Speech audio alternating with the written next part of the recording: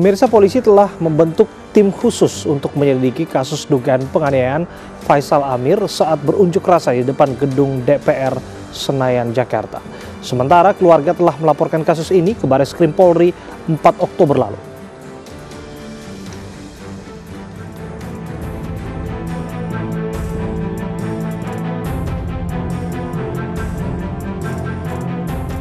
Polisi masih menyelidiki kasus penganiayaan terhadap Faisal Amir, mahasiswa Al-Azhar yang menjadi korban kekerasan saat unjuk rasa di depan gedung DPR 24 September lalu. Polisi berkomitmen untuk mengungkap pelaku penganiayaan yang menyebabkan Faisal luka parah. Faisal Amir, perkembangan terakhir, ibundanya Faisal, tadinya awalnya hendak melaporkan ke Baris Krim, lalu terakhir uh, membatalkan niat itu.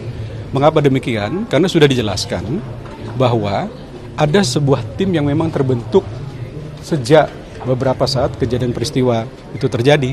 Ya, jadi bukan mau dibentuk, sudah dibentuk sejak peristiwa itu terjadi.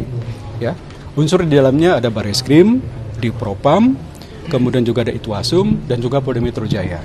Ya, diselidiki mengapa peristiwa itu terjadi dan sampai sekarang masih terus dalam upaya-upaya penyelidikan. Ya, oleh karenanya ibundanya saudara atau adik kita Faisal juga bisa memahami itu sambil bagaimana nanti menunggu hasil daripada penyelidikan tim itu.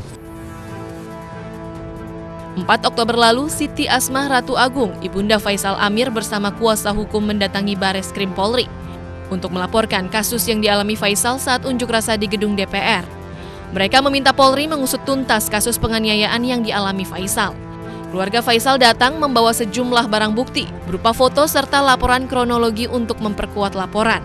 Datang ke Mabes Polri, terus tim uh, jadi kita membuat surat dan laporan dan diterima dengan baik dan akan langsung jadi atensi dari uh, Baris Krim sendiri dari Komisaris Jenderal Polisi Dr. Ida Majis dan juga dari bagian uh, Direktorat Tindak Pidana Umum di Mabes Polri.